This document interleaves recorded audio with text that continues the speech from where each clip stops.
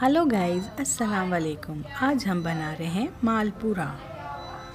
ये हमारे पास एक प्याली मैदा है, चार से छः खाने के चम्मच हमने पिसी हुई चीनी ली है, एक अदद अंडा लिया है, थोड़ा सा जरदे का रंग आधा चाय का चम्मच इलायची पाउडर और मीठा सोडा चुटकी भर और एक कप दूध।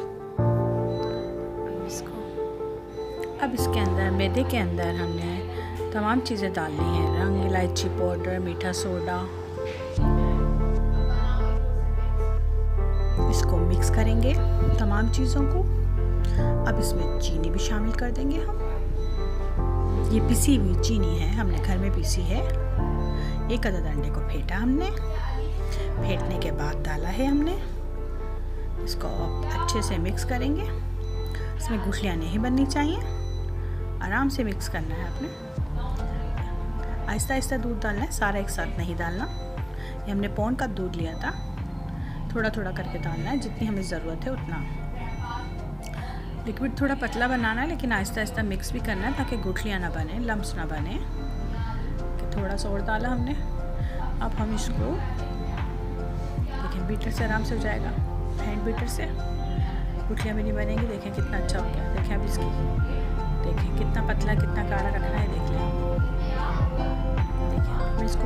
आसानी से भर लिया है ताकि आराम से चल सके। नया इंसान भी इसको बना सकता है। और मैंने घी भी ज़्यादा नहीं लिया पेन के अंदर। कढ़ाई भर के भी लोग बनाते हैं, लेकिन ये नए इंसानों के लिए बहुत ईजी डिश है।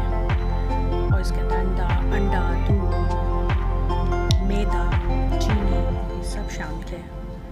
ये हेल्थ के लिए बहुत अच्छी है और बच्चों के लिए, जो बच्चे अंडे नहीं खाते हैं उनके लिए तो बहुत ही अच्छी डिश है ये।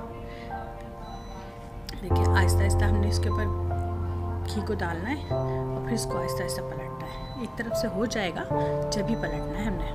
पहले से नहीं पलटना और थोड़ा थोड़ा दबाना है हमने चमचे की मदद से। हमने बहुत थोड़ा घी लिया था। घी में अच्छे बनते हैं, ये तेल में मत बनाइएगा। तेल में अच्छे नहीं बनते। ये देखिए हमने बड़ा डाला है। वो मीनी डाले थे हमने छोटे छोटे देखिए हमारा मालपुड़ा तैयार है। छोटे भी बनाए हैं, हमने बड़े भी बनाए हैं। कितनी अच्छी डिश हमारी तैयार हो गई है। अगर आपको हमारी रेसिपी अच्छी लगती है तो लाइक कीजिए। हमारे चैनल को सब्सक्राइब कीजिए।